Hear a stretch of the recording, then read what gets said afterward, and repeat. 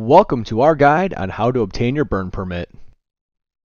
First, go to www.nocfa.org and then on the lower left side of the screen you'll see click to get your burn permit. For Holly and Rose Township, continue. And then read the rules for open burning. Then click continue. There's a short quiz. Of course, we can't give you the answers. That would be cheating. Click Continue, and then type the numbers of your address.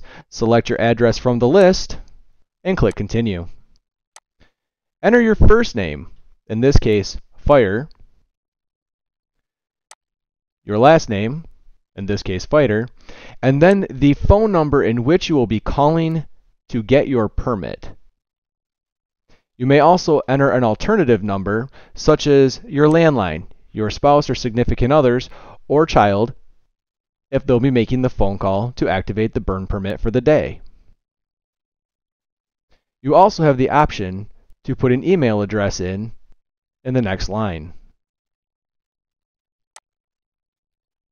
In this case, nocfa at nocfa.com, but use your phone numbers and your email address. Click Get a permit.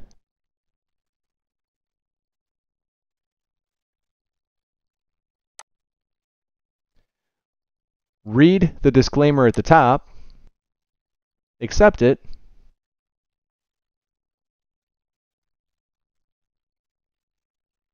and voila, you're done. Print your permit. Hope this helped. Have a good day.